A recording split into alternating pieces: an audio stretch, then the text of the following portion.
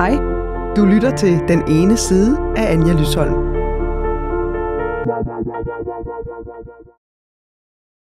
Ja, jeg har fjernet min intro.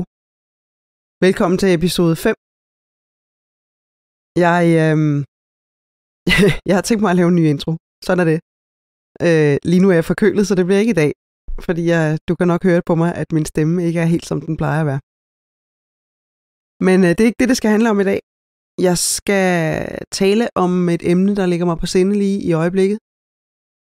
Og det er en, øh, en tendens, jeg ser i, øh, hvad skal vi sige, det, den spirituelle øh, verden. Eller blandt os, der erklærer os som spirituelle, eller tilbyder folk noget spirituelt, øh, professionelt. Øhm, der ser ud til at være en voksende tendens til, at folk, der tidligere har kaldt sig spirituelle, folk, som øh, har brugt øh, krystaller, tarotkort, lagt horoskoper, øh, alt sådan noget spirituelt halløj, øh, de nu lægger det hele på hylden, og så erklærer de sig kristne.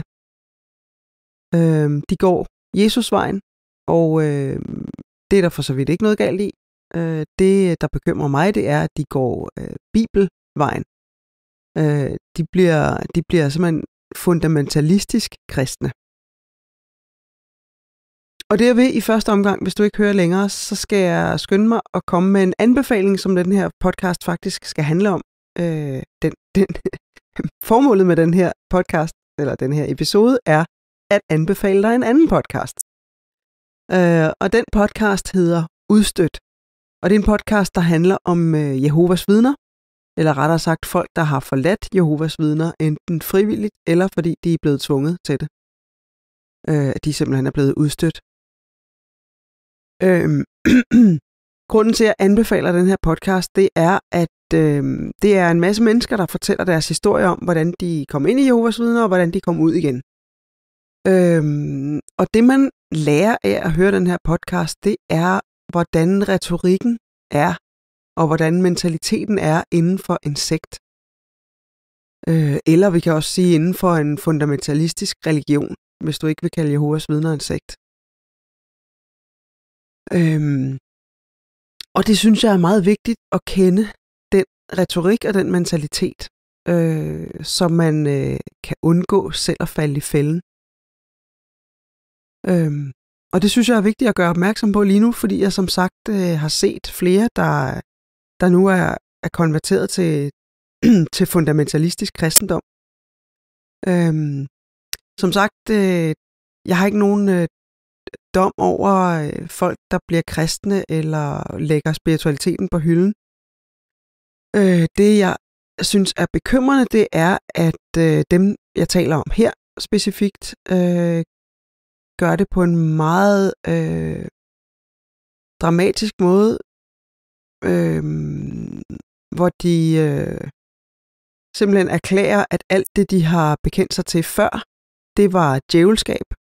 Øh, der er et eksempel, det er så et ældre eksempel, øh, nu har jeg set det i Danmark, men, øh, men før i tiden, øh, det eksempel, jeg har, har set før, har været øh, hende, øh, den amerikanske spirituelle lærer, der hedder Doreen Virtue, som øh, i mange, mange år har levet af at, øh, blandt andet at lave sådan nogle englekort og tarotkort og orakelkort og alle de her kort, øh, som man kan trække, som har et, et budskab og en tegning, eller et, et øh, maleri.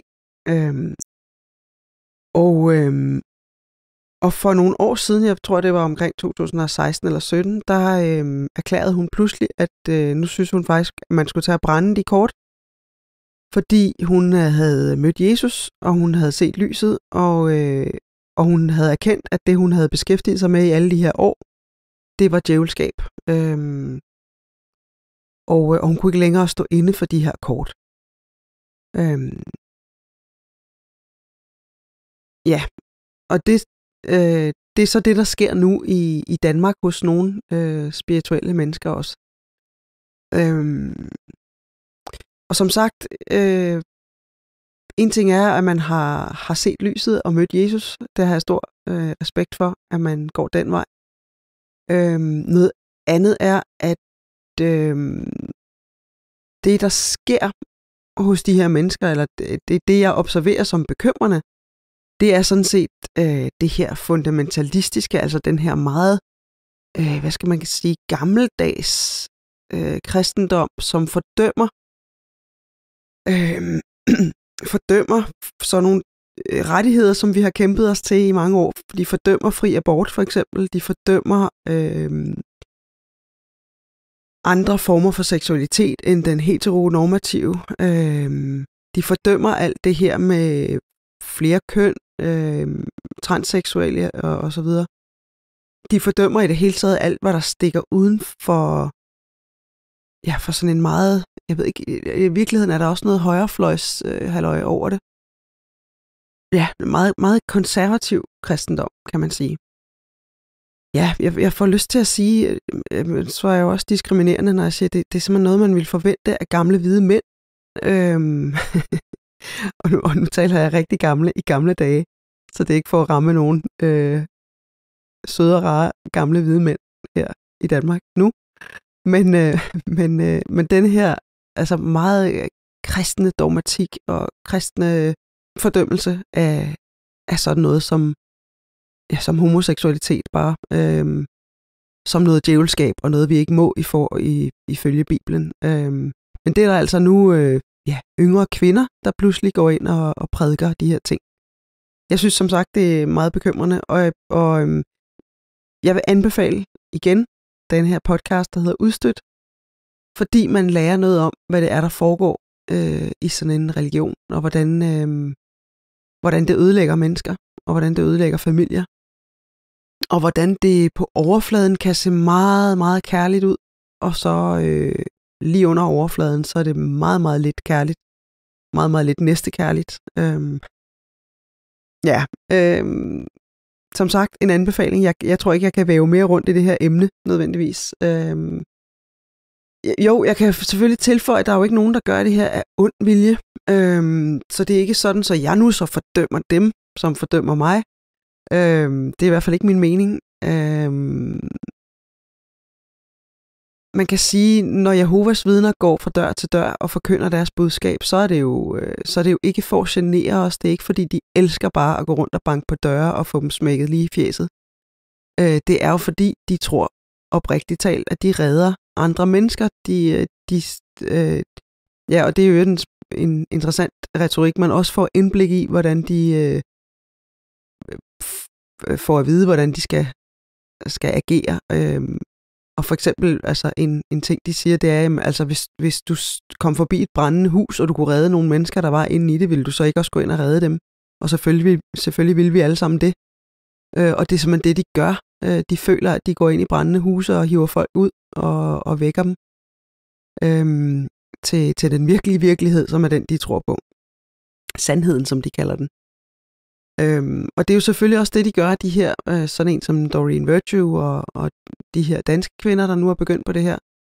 Øh, de gør det jo naturligvis i en, en god mening, formoder jeg. Jeg får, giver altid folk, øh, eller altid, hvad hedder det, tvivlen kommer folk til gode.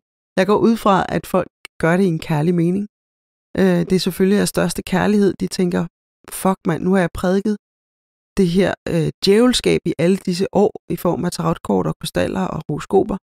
Så nu bliver jeg nødt til at, at råde bod på det ved at, hvor nu prædike, hvad, hvad sandheden virkelig er. Og det er, at I skal følge Jesus, og I skal følge Bibelen. Øhm, som kommer jeg til at en af mine veninder sagde øh, forleden. Øh, hvordan forholder de sig til det med, at kvinder skal tige forsamlinger?